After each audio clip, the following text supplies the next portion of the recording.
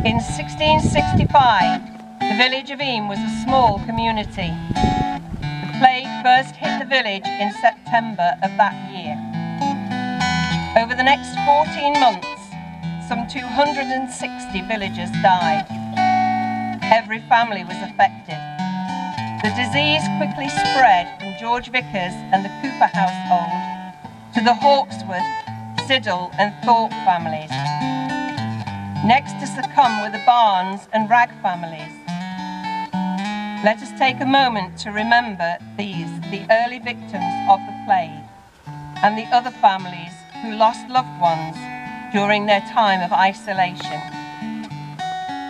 Abel, Allen, Archdale, Ash, Ashmore, Bilston, Blackwell, Bocking, Butterworth. Buxton, Chapman, Coyle. Daniel, Darby, Elliot. French, Frith, Glover.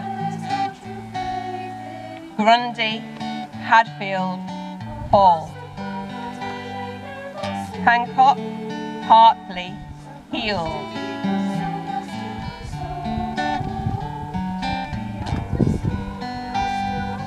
Howe, Kemp, Low.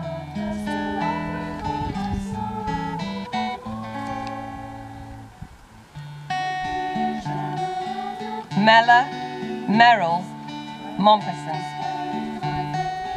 Morton, Mosley, Mower. Naylor, Parsley, Percival.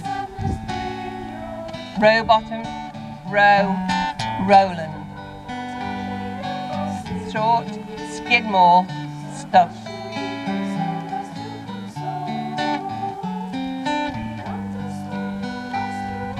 Swan, Swinnerton, Talbot.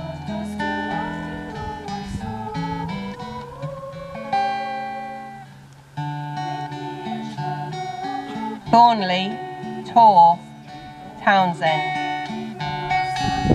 Townsend, Trickett, Warrington. Whiteley, Wood and Wilson.